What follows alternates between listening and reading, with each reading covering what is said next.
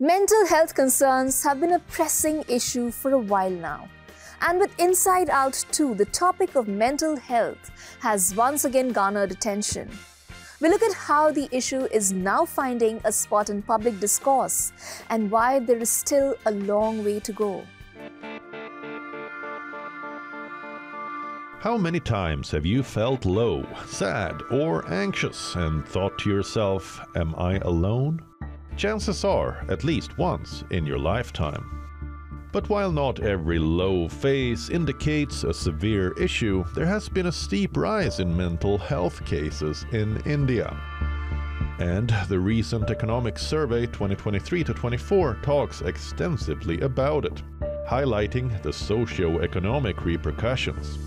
The policy asserts that mental health disorders are associated with significant loss of productivity, the survey calls for a fundamental change in approach to address the problem.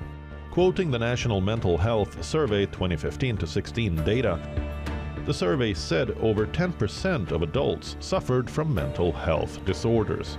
The prevalence was found to be higher in urban metro regions as compared to rural areas and urban non-metro areas. But not just in adults. The policy document also noted an increase in the cases among adolescents, further propelled by the COVID 19 pandemic. Citing NCERT's Mental Health and Well-being of School Students survey, it was highlighted that a staggering 43% of students experienced mood swings, 11% of students reported feeling anxious and 14% as feeling extreme emotion. An issue that has been brushed under the carpet for years is now starting to find a spot in public discourse. And it being acknowledged as a pivotal driver of individual and national development is an important step forward. But even then, the issue only hits headlines when a person of a celebrity stature talks about it.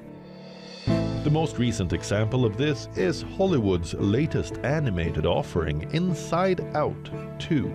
A sequel to the 2015 Pixar film, Inside Out 2 introduces four new, complex emotions anxiety, ennui, embarrassment, and envy. Notably, Inside Out 2 has emerged as the highest grossing animated movie of all time, and its resounding success speaks volumes about how the audience is finally ready to talk about it which is perhaps why Riley's overthinking and anxious moments have gained the maximum traction on social media, with many posts and memes dedicated to it. Moving away from the spectacles of the big screen, several celebrities have opened up about their personal battles against mental health issues in the past. In India alone, bigwigs such as Deepika Padukone and Karan Johar have thrown their weight behind mental well-being. While Padukone has not shied away from talking about living with depression and even become the face of mental health awareness with her Live, Love, Laugh Foundation, Johar has been vocal about suffering from anxiety attacks, seeking therapy, and being on medication. From Alia Bhatt to Anushka Sharma and Varun Dhawan, many have publicly shared details of their low faces. Hollywood, too, isn't far behind. From Tom Holland to Sophie Turner to Lewis Capaldi and Sam Fender, popular stars have taken breaks when things got a bit much for them.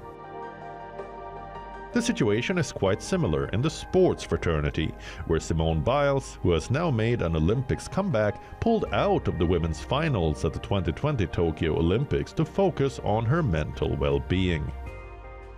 Naomi Osaka withdrew from the French Open due to post-match anxiety. Ben Stokes took an indefinite break from cricket to prioritize his mental well-being and Indian skipper Virat Kohli stepped back and talked about not holding the bat for over a month.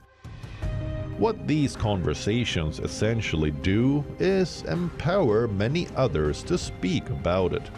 It's sending a message that if we can, you can too. Statistics show that one in every five suffers from an illness related to mental health. It could be anything anxiety, depression, bipolar disorder, schizophrenia, or any other manifestation of a compromised mental health. But that's not all. In 2019, 970 million people around the world were reported to be struggling with some or the other mental illness. And despite the alarming figures, one wonders what it is that stops us from talking about it. And the questions remain. Will the mental health issues of a common person ever be addressed at scale?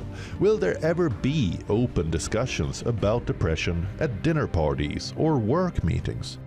Or is taking a break and even talking about it remains a luxury only meant for some and not for all?